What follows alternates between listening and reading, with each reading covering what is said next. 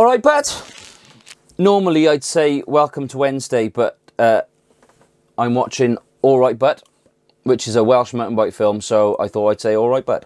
This video that's playing in the background is the trailer for um, Welsh mountain bike film called Alright Butt, and I went to see this in Newport about two weeks ago. Went to see the went to see the premiere of it. Uh, so it was a free night out. Um, just buy a beer, obviously, or two.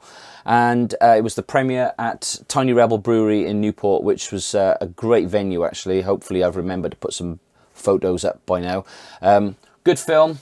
Probably only about half an hour or so, but perfect sort of length for a, a good, inspiring little mountain bike film. Um, features Features Joe Smith, Mike Jones, Manon Carpenter, Leigh Johnson, Rowan Sorrell, Nikki Whiles, Ajay Jones. Um, so you've got you've got enduro riders, you've got downhill riders, you've got uh, you got media riders there. You've got uh, you've got guys like uh, Nikki Whiles and Rowan Sorrell who now, as part of their jobs, they actually build tracks. If you didn't know this, um, Rowan Sorrell is the brains behind most of what you're riding up at Bike Park Wales these days. Uh, Nikki Whiles works for, um, I think the company's called Trailcraft, and they build pump tracks and stuff like that around the place. There's one quite close to me. Go and subscribe to the Alright Butt YouTube channel. They've only got about 30 subs at the moment, and I'm sure with your help we can get that up a little bit higher. Um, they certainly deserve to have more subscribers than this channel because, uh, let's face it, all I do is sit around here talking about mountain biking.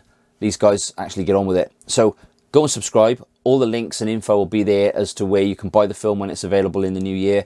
It's going to be, I would imagine, anywhere between like seven, eight, ten pounds, which is based on uh, the average night at a pub these days. That's probably the point of a packet of crisps and a, and a pint. So, so one more thing. Um, I saw this film premiered at the Tiny Rebel Brewery in Newport, which is a, a brewery with the with the bar on site, which obviously is pretty uh, pretty common these days.